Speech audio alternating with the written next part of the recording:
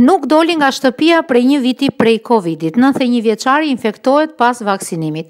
Ai po lufton me koronavirusin në spital, pasi u infektua dhe dyshohet se e mori infeksionin kur po vaksinohej.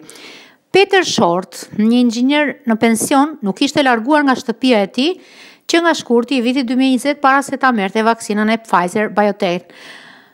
Djali i tij e çoi të moshuarin në qendër dhe i tha familjes së tij se gjithçka ishte disinfektuar para se ta përdorte, me përjashtim të një stilolapsi që ai përdori për të mbushur një formular. Short u sëmur vetëm disa ditë më vonë dhe u dërgua me urgjencë në spitalin Walsall Manor në 16 janar ku rezultoi pozitiv me koronavirus. Mbesa e tij Emma Lowndes, 36 vjeçe, tha se familja tani beson se ai duhet të jetë infektuar kur po vaksinohej. Ai u shpreh se 91 vjeçari ishte krejtësisht i shëndetshëm,